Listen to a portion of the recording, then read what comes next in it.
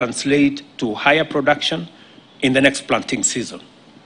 I encourage farmers to embrace better and greater use of fertilizer to increase yields in the coming seasons.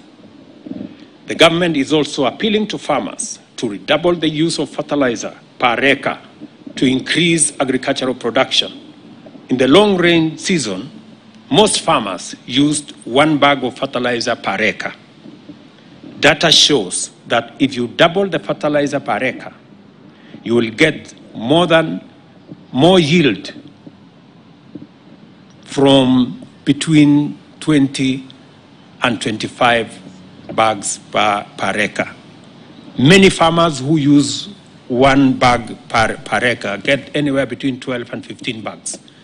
But if they double the use of fertilizer, and I want this, I want every farmer to listen to me because this is what I do in my farm. Yeah?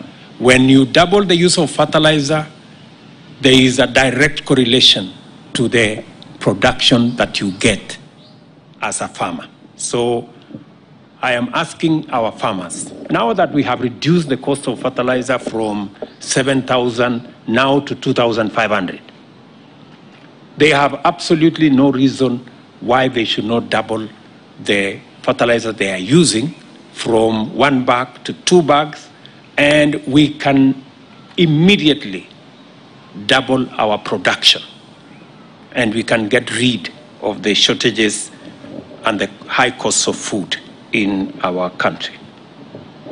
For the coming short rains, the government has embarked on the distribution of fertilizer to farmers throughout the country with a view to ultimately delivering 100,000 metric